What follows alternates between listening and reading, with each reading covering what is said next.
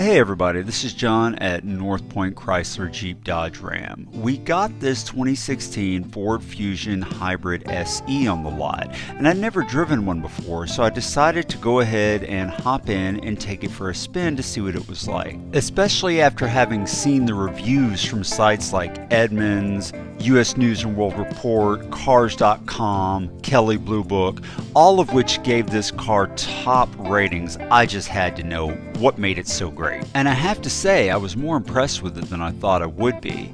First of all, because it had better pickup than I expected. Now, it's not a race car, it's not a performance car, but it has plenty of power to make sure you never get stuck behind anybody when you're passing on the highway.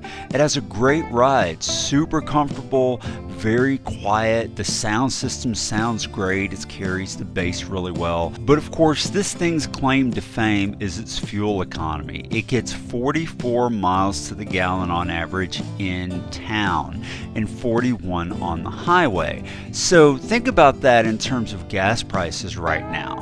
That will save you a lot of money over the life of this car because with gas prices being really high and you getting twice the fuel economy of the average sedan in town of the same size, you're going to save half of that fuel money that you're spending on other cars.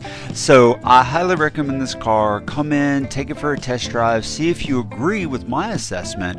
Great ride, great sound, lots of features, amazing fuel economy, and at a price that you just can't beat.